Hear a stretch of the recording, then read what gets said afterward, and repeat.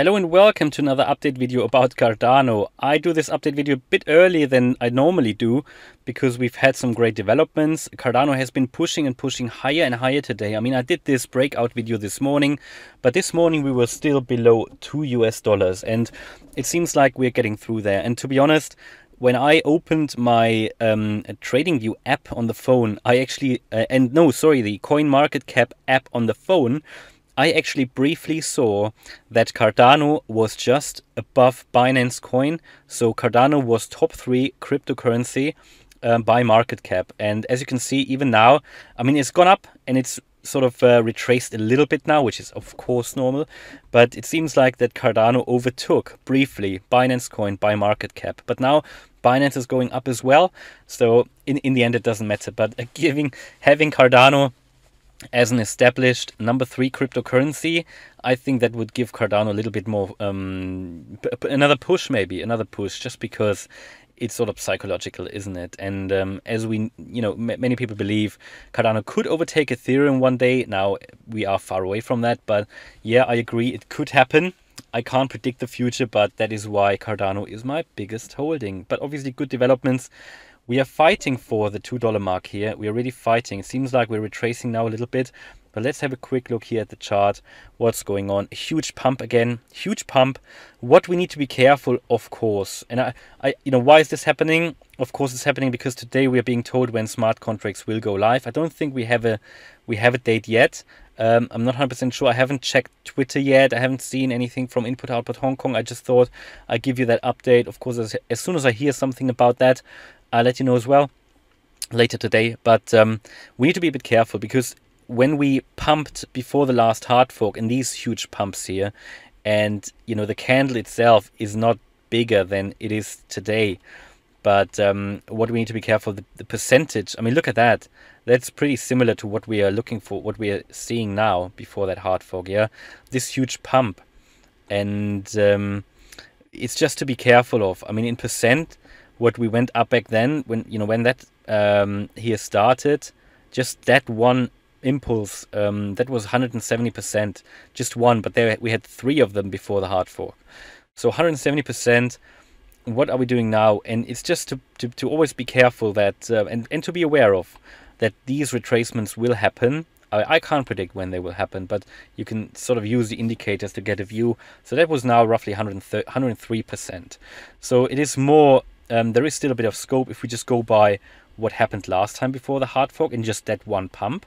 Now that could obviously mean we might get three of these pumps. You know, I, I don't know, but we might get three of these pumps um, as well this time. But then you can see back then we had actually um, we we pumped, and then we had that retracement here, and that was quite a bit actually. That was again from up here. We went down 17% and just be aware of that. That can always happen. And uh, this i you know i just want to make clear because we're still early on this channel this is an early channel.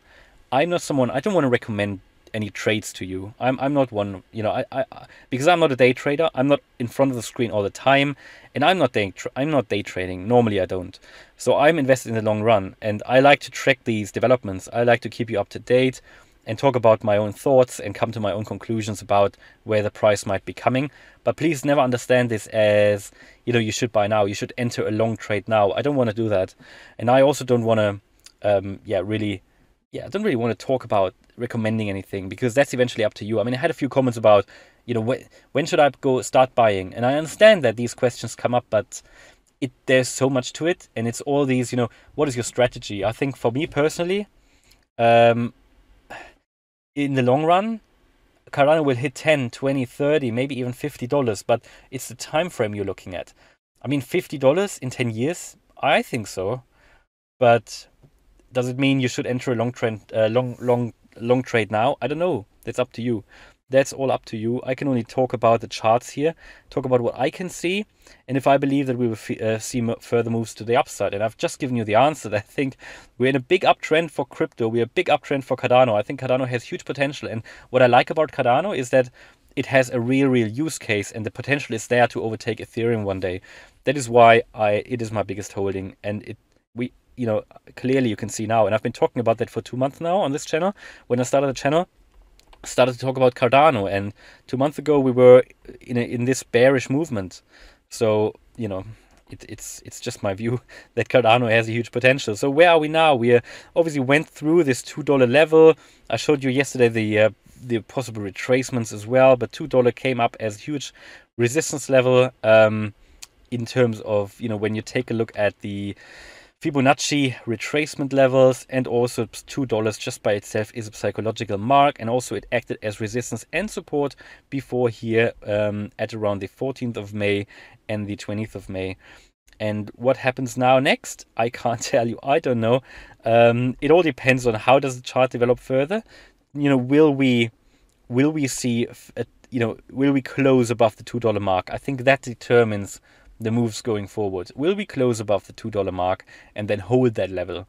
I believe that could position us for a longer term positive trend above $2. Um, if we now see a retracement from $2, if we if we if we don't get through, I still think we'll take the $2 mark very soon because $2 it's just the next level to a new all-time high and by all, you know, just bear in mind we're not far away from the all-time high. So be a bit careful. It all depends on your own strategy.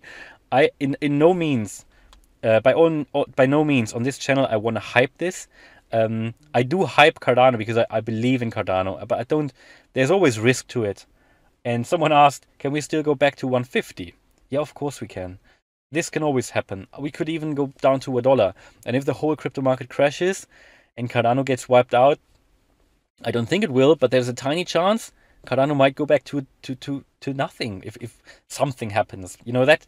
That, that's why we always say, and everybody pretty much says that on YouTube, only invest what you can afford to lose. So there is a lot of risk, but there's also a lot of potential, which is why Cardano is my biggest holding. So we're only 15%, 15% away from the all-time high. What do we do now? Will that happen? Will that happen on the weekend? Guys, I don't know. It is much earlier than I would have expected. We've went we, we went through all these resistance levels here now in, you know, now we obviously massively overbought, but in this current environment with smart contracts coming, everything is possible. We could even go to I don't know, we could go to three dollars. Just look at some other cryptos, how they moved to the moon. And um, I've always said in this channel on this channel that I, I, I believe realistically this year, four and a half to five dollars. Um, now there are so many scenarios that could happen now, and that this, you know, I, I don't know. I, for, for me, in the next few weeks, it will just go up. Ahead the hard fork, it will go up. There can be days, there can even be a week where we retrace. But I think until we see that hard fork rollout, we'll move up and up and up. That's my only personal prediction. Please uh, come to your own conclusions before you make any investment decisions. All right, hopefully you appreciated that quick update. I hope you liked it. If you did, please smash the like button. And if you want to follow me on this crypto journey, please subscribe. Thanks a lot for watching and see you in the next video. Bye.